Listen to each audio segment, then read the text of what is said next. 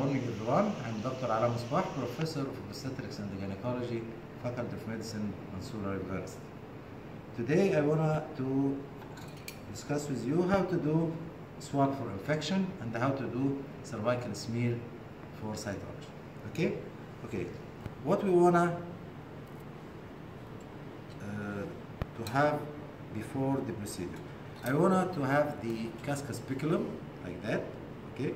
I want to ask the patient for certain precautions before she is coming for a swab, like no intercourse in the previous three days, no vaginal douche in the previous three days, no intravaginal suppository uh, antifungal or antibiotics and so on. So she is ready right now, like this case in uh, Lysatin position, and I'll do speculum examination. Then as you know, I insert the Cusco speculum in this direction longitudinal until the half of the Cusco, then I rotate 90 degree, then I complete the insertion. After that, I open the plate of the speculum like that till I see the horseshoe in front of me. Okay? Mm. Now I'm going, I'm seeing the this part which is the ectocervix. Okay? Then I have cotton tip the swab. I'll take the swab from the external os like that. I rotate 360 degree. Then I withdraw the swab like that. Then I insert it without touching anything inside the tube and I send it for lab for examination under microscope and for culture and sensitivity test. Okay, this is the cotton tip swab for infection.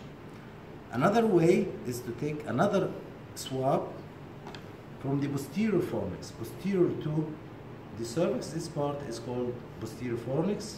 Here the anterior fornix. Here is lateral fornixes, and here is a posterior fornix. Again, we rotate 360 degree. Then withdraw the cotton tip swab. Then insert it inside the tube and send for delay. This is as regard swab for infection and I do that if there is any discharge in sexual transmitted disease and so on. What about smear, cervical smear for cytology as regard for screening for cervical carcinoma or CIN?